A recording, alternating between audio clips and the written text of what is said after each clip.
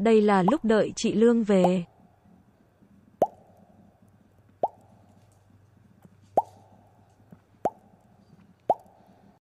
Đây là lúc chị Lương đi.